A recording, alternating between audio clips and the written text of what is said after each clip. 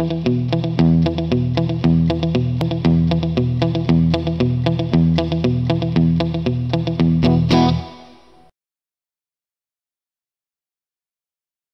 folks, going through my content trying to decide how to start today's video, I suddenly had an aha moment that actually links this year's flooding with the flooding we had last year. Um, this is the first thing that I saw here. We got more rain coming, which isn't a good thing considering the flooding. And this was February 23rd. This is two days after the flood. So from devastating floods to freezing rain. One round one of two blasts of stormy weather began Friday for southern Ontario with the threat of more rain for watersheds already strained and saturated from flood emergencies this week. And I look down here and I see this. Spring is ahead. How will La Nina impact your spring weather? Well, uh, if you don't know what La Nina is, uh, there's two weather conditions. Uh, one is El Nino and the other is La Nina. And it is based on weather or water temperatures in the Atlantic Ocean. The trade winds will blow one direction, and the warmer water will accumulate at one end of the ocean, and during the other opposite event, I can't remember which one's El Nino, and which one's La Nina, but during one event, the warmer water is at one end of the ocean, and during the other event, the winds have actually changed direction, and all the warmer water comes the other way. So whichever one is which, I don't remember at this moment. But either way, they affect our jet stream, which determines you know, the dividing line between cold and warm, and also where all these extra high precipitation storms kind of end up going.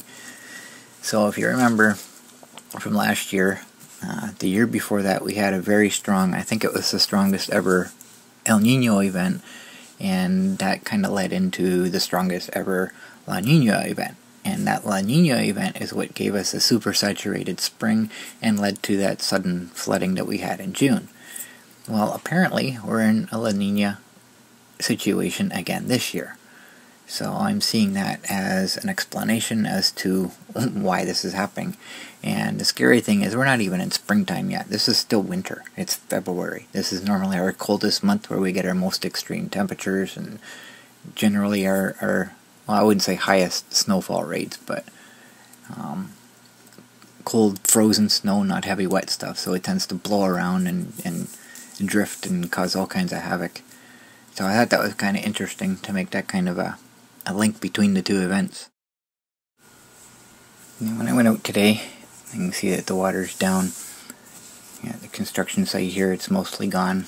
left some ice behind, but the water itself's gone. Same as the dollar store parking lot, so pretty much dry now. Yeah, I know I don't show much. I didn't pause or anything, but looking at the river, it's down about four feet from what it was at before.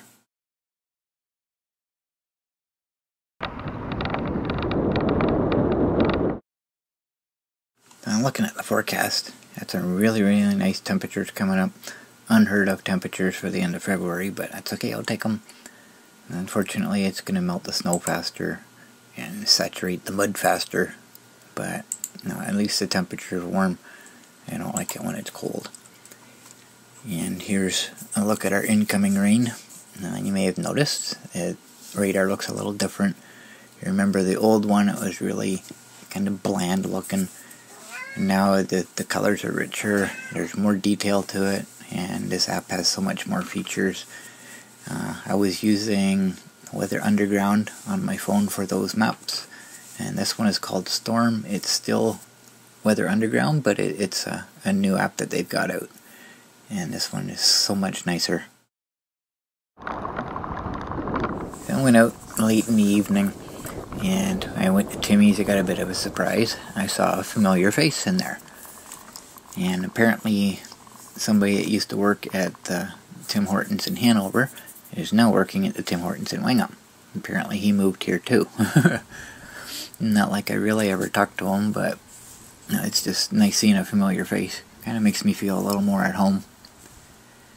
And one thing I noticed here is the traffic at night is so much quieter. Actually, all of Wingham is just so much quieter than Hanover.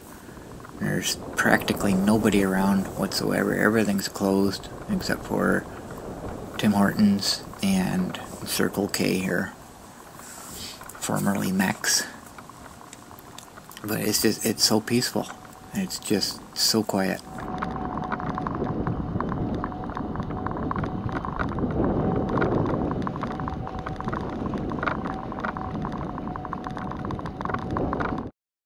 Not really much else has been happening in the last little bit, so I'm going to end the video here and I'm going to show you something that I found really cool about uh, in Brantford, the communication between the Public Works Department and the Grand River Conservation Area monitoring what's happening. And it's really kind of kind of a neat video. And up to this point, so far, there's been no word on the boy that was washed away by the river. I still haven't found him. So, uh, thanks for watching, and I'll see you in the next video. I've lived here for most of my life and never seen anything even close to this. This is a retaining wall to restrict the water and ice debris from coming over. It's obviously never been this high before. I've never seen it like this. The Grand River is busting at the seams. Today, John Middleton, lead hand for Brantford Public Works, needs to empty the storm system. Looks like we're winning now. We've dropped it about two feet. So we've exposed the inlet uh, pipe now on this side.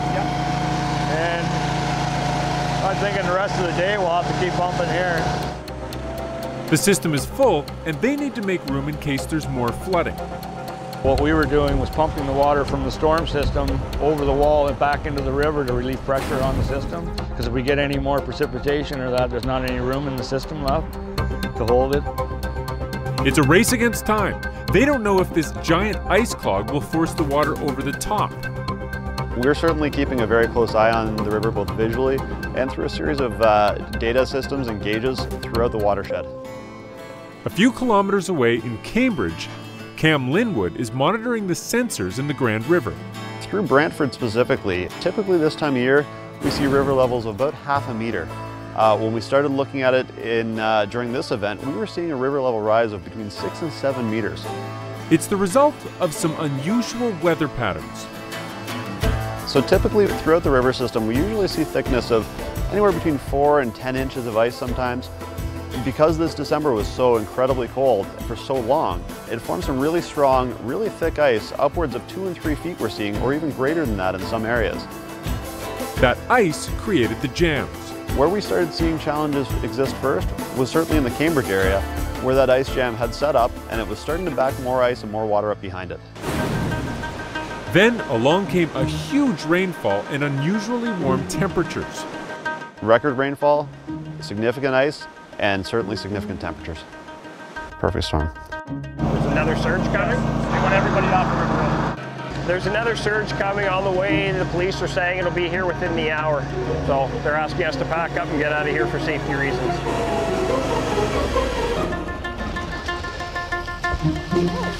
That heavy police presence and that municipal response was primarily focused on the water that was at risk of coming over the top of those dikes. Uh, they wanted to make sure that they were evacuating a large area of people. We just wanted to make sure that people were well aware of what was going on and certainly out of harm's way. I do believe it has uh, risen a little more. Let's hope this holds. Luckily, the ice washes through the system with no significant flooding. Good news for residents here, but other communities are still at risk. We are going to continue to monitor our downstream communities throughout the rest of the week